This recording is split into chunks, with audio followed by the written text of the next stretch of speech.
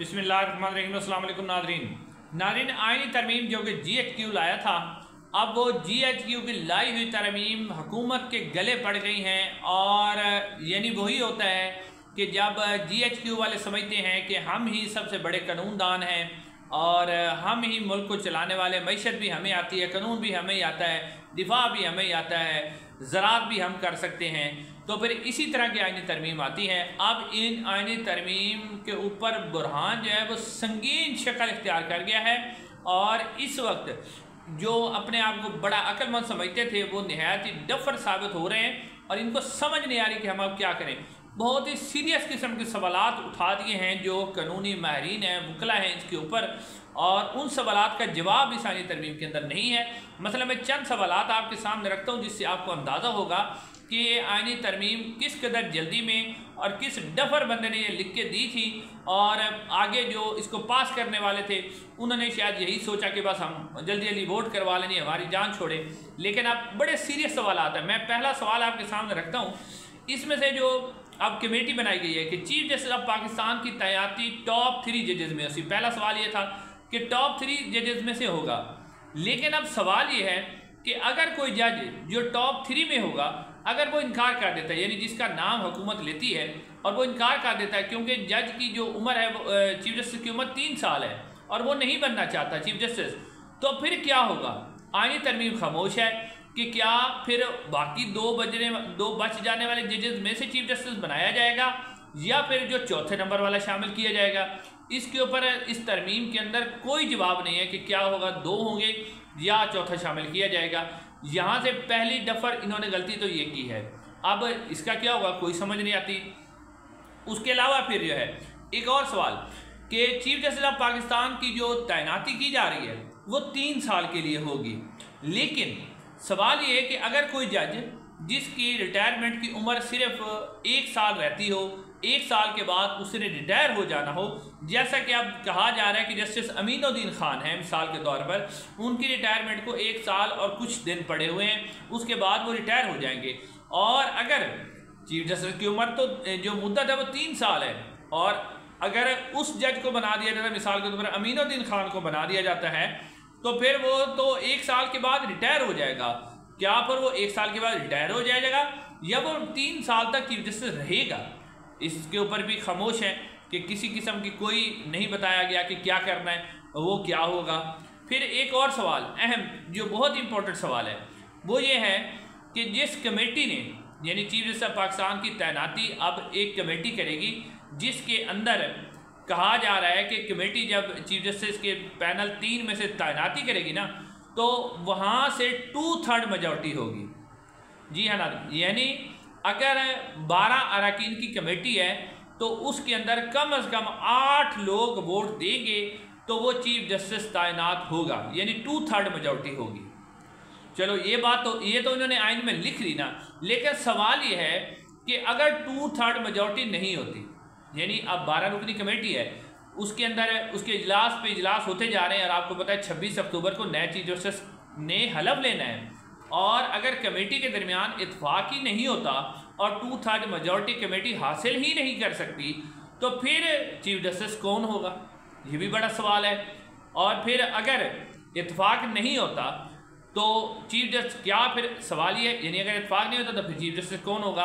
और फिर यही इसी के साथ जिमनी क्वेश्चन जोड़ लें कि क्या फिर वो चीफ जस्टिस की जो कुर्सी है, ये जो चीफ जस्टिस का उहदा है, वो खाली रहेगा?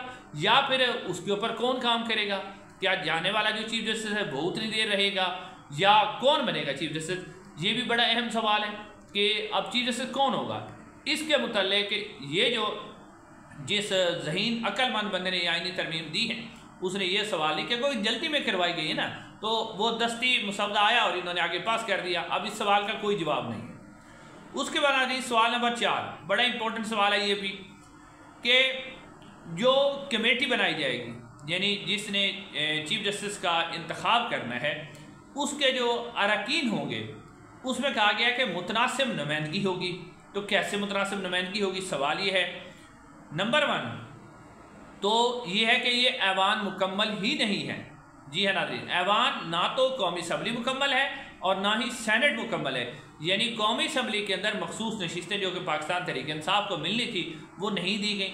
वो उसी तरह खाली पड़ी हुई हैं। ठीक है, उसके बाद सेनेट में खैबर पख्तूनख्वा के जो तकरीबन दस के करीब सेनेटर हैं, जिसमें पी टी आई की मेजोरिटी आठ के करीब उनके सेनेटर हो जाएँगे, वो भी खाली पड़ी हुई है।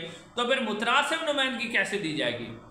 जब एक जमात के पास पूरी सीटें नहीं हैं और फिर अगर, फिर एक और सवाल है कि अगर आप मुतरासब नुमाइंदगी दे देते हैं, अगर पीटीआई को आप दे देते नुमाइंदगी, और पीटीआई उस इजलास के अंदर ही नहीं जाती, कमेटी के इजलास का बाइकआउट कर देती है तो फिर वो कैसे इजलास होगा और उसकी मुतरासब नुमाइंदगी कैसे होगी? ये भी बड़ा सवाल है और मुतरासब नुमाइंदगी कैसे दी जाएगी? ये भी बड़ा अहम सवाल है।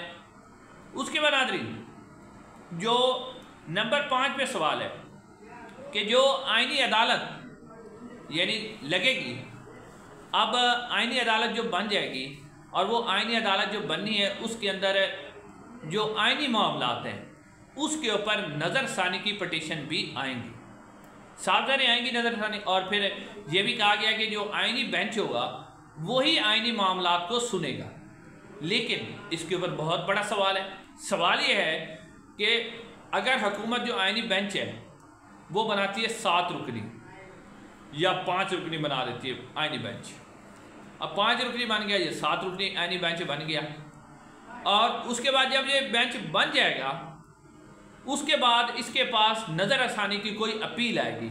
अब हम मिसाल देते हैं कि मखसूद नशस्तों का जो फैसला है, इसके ऊपर जो नज़र आसानी की अपील आएगी तो वो क्या आइनी बेंच के अंदर आएगी? और अगर आइनी बेंच के अंदर आएगी तो वो जो सात रुकनी बेंच होगा, वो कैसे इसको सुनेगा? जबकि मखसूस नशिस्तों का फैसला तेरह रुकनी बेंच दे चुका है। यानी पहले एक बड़े बेंच ने फैसला दिया है, तेरह रुकनी बेंच। अब उसकी नज़र सानी सात रुकनी बेंच कैसे सुनेगा? और फिर वो नज़र सानी के अंदर जिन जजेस ने, आठ जजेस ने हक में फैसला दिया है, आप उनको कैसे वहाँ से निकालेंगे? ये बहुत बड़ा और बड़ा क्रिटिकल सवाल है। कि तेरह रुकनी बेंच ने फैसला दिया, नज़र सानी सात रुकनी सुनेगा, कैसे होगा?